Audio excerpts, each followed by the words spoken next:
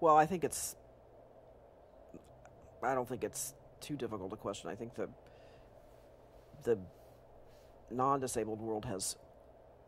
Well, let's start with kind of U.S. culture.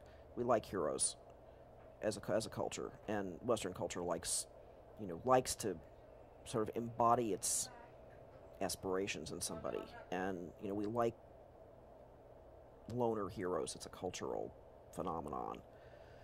And I think in disability, the the prevailing dominant cultural approach to disability has been to feature people who have overcome their disability in heroic ways. And none of us particularly want to identify with the people that with that characterization of our members. And we haven't figured out a way to do it, you know, independent of the broader, you know, social culture. So we just abandon it altogether because it's you know it's not satisfying. It's not. It's um, it seems to pander too much to the the way it's done in the media, the way it's done in the movies, and we don't particularly want to sanction those characterizations and don't believe in them.